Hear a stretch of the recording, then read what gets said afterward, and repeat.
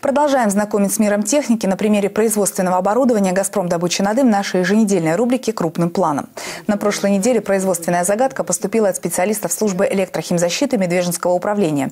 И сразу же откликнулся постоянный участник рубрики Григорий Климов. Кстати, мы просим Григория позвонить к нам в редакцию по телефону 568-138 и получить подарок от сайта «Газовик.Инфо» за активное участие в конкурсе и отличную эрудицию. А сейчас правильный ответ на вопрос прошлой недели. Уважаемые коллеги, на прошлой неделе я спрашивал у вас, что это за устройство, для чего оно предназначено и как э, его применяют. И где.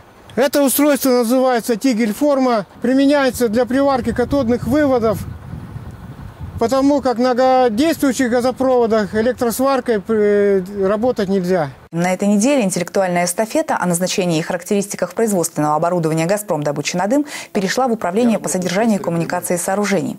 Как вы думаете, что это за агрегат и где он применяется?